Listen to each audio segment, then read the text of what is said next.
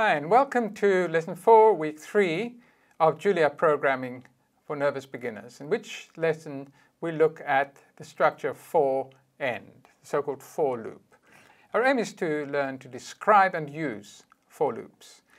Uh, you'll be able to use a for code block to iterate over an iterable container, and you'll be able to discuss the local scope of a for block with particular reference to the loop variable. And without further ado, let's emphasize that a for block, like a while block, has local scope.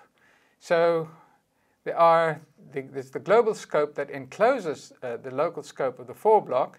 It has variables in it. They are actually accessible for reading inside the code block.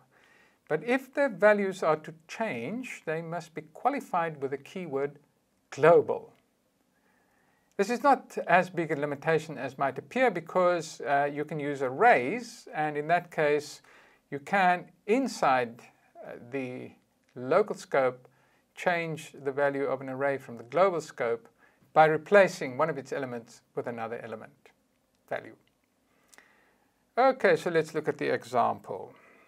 For loop var 1 uh, in the range 1 to 4. So loop uh, takes that and we'll just print len, we'll get a character. So let's use alpha uh,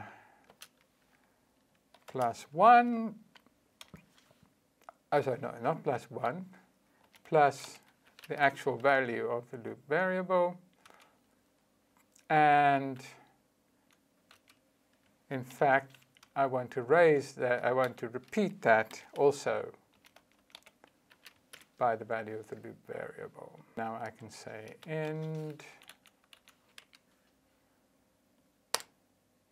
And so what I see is that the value of loop variable is 1, so alpha plus 1. The character alpha plus the integer 1 gives us the character beta, and we repeat that once. After beta comes gamma, so that's alpha, that alpha plus 2 is gamma, and we repeat it twice. Alpha plus 3 is delta, we repeat it twice. Alpha plus 3 is epsilon, and we repeat it four times. To make uh, a for loop, we use the reserved keyword for and the operator in, and of course we go over an iterable. And this is, of course, exactly the same as comprehension. So let's see if we do the same thing um, so we have uh, slash alpha, and I want that to be a character, and I add the local variable to it, and I repeated the local variable amount of times for the value of block 1 in 1 to 4. Now look at the code, it's very, very similar. This formula and that formula, alpha, it's in parentheses with the local variable added, and then with the caret, the repeat operator with the amount being the amount in the local variable, for the local variable equals 1 to 4 we could do something like 20 times the local variable. And we get different ones, and some of the ones that we get aren't even possible to display on, the, uh, on my system here. So comprehension can be understood as a specialized kind of for loop. It uses the same uh, keywords like for and the operator in, but it doesn't need an end because this is so well, well described that there's no need to specify where it's going to end. Uh, the end is already contained in the structure of this very tight description of comprehension. This one produces an array here, but this one doesn't produce an array. It just produces four values appearing on the screen, and they are formatted slightly differently as well, because not because of the for loop, but because of the println function as opposed to just displaying elements on the screen. The iterable can be something that is not uh, uh, that is not a range. It can be a string, it can be an array, it can be a range. There are many other possibilities that we don't discuss on this course.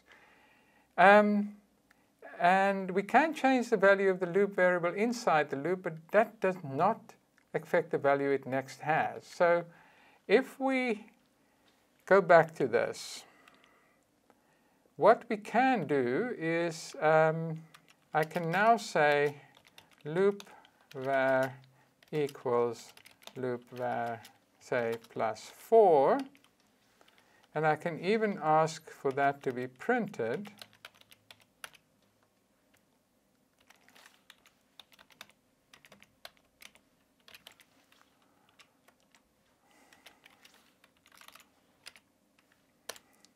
what we see is that the beta, gamma, gamma, delta, delta, delta, epsilon, epsilon, epsilon, epsilon, they still occur, despite the fact that what is printed out by println are the values 5, 6, 7, and 8. Those values 5, 6, 7, and 8 are not used next time around.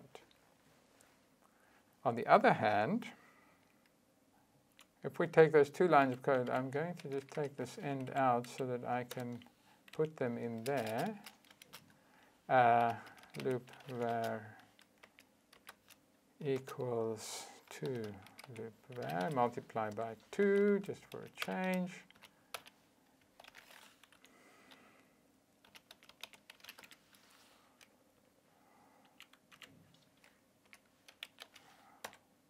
And then we see that it takes the values 2, 4, 6, 8 over there.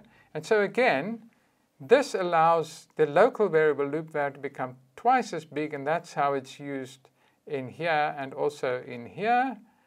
But when we go back up, loop var has taken the value 1, then it goes takes a value 2. So the values it takes at the start of each uh, pass through this code path, this very straight code path from there to there, are given by that first line. Every time it arrives at this point in the iteration, it has a value taken from there. So let's discuss the pros and cons of for blocks versus while loops versus comprehensions. Anything one does with a comprehension can be done with a for loop.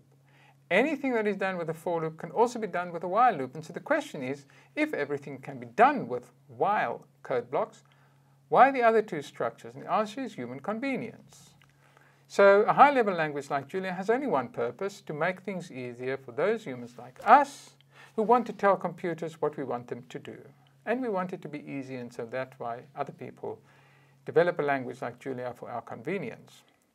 So a while loop can be infinite, but that is not the case with a for loop or the comprehension. They also do take more lines than a for loop to code. So for those two reasons, a for loop is usually preferable. But a while loop also has possibilities that you cannot do in a for loop, and so for those two reasons, there are times when a while loop is preferable. A comprehension, on the other hand, is not necessarily better. It can, for instance, be harder to read when coming upon a, a, piece of Julia code for the first time and there's a difficult comprehension. It would be easier if that same thing was a for loop. The main reason for using a comprehension is that it takes up only one line. So it's a way of getting very compact code, which a lot of people like. So we have a number of code structures that we've seen so far in this course. We've had the keyword function and the inline, that gives us a code structure. We've got the logical tests with if. We've got the loops introduced by while and for. So if blocks have global scope and the others have local scope. So that's important to remember. And except for comprehensions and inline functions, the others all start and end with a reserved keyword. So if it starts with a reserved keyword, it has to have an end keyword uh, to close it off. And structures can be nested, but this possibility must not be overused. So here's a review and summary. For blocks have local scope. The syntax is for, the loop variable name, in, the iterable value, do a lot of code, and end. The loop variable takes the values in the iterable one by one, and for each such value, this code body of the loop is executed with one pass. And the loop variable cannot be made visible globally. And that's it. lesson uh, four of week three. Thank you.